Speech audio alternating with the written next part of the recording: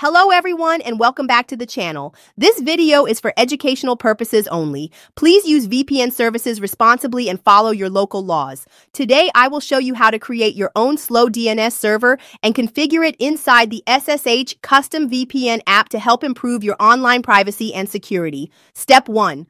Open your browser such as Chrome and search for a trusted website that provides slow DNS server accounts.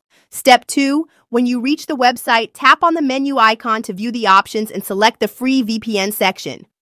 Step 3. Choose the SSH tunnel option to continue creating your account. Step 4. Select your preferred server location. Using a nearby server can improve performance. Step 5. Tap on Create Username and enter your desired username and password. Complete the CAPTCHA to verify. Step 6. Tap Create Username again. Your account will be created.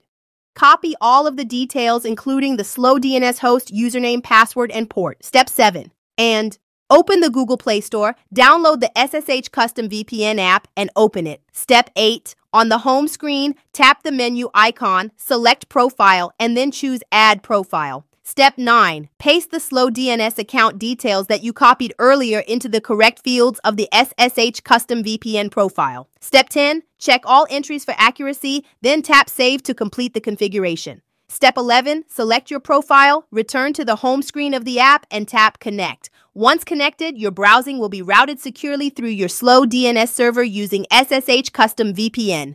If this tutorial was helpful, please like the video, subscribe to the channel, and leave your questions in the comments. Stay safe and enjoy your browsing.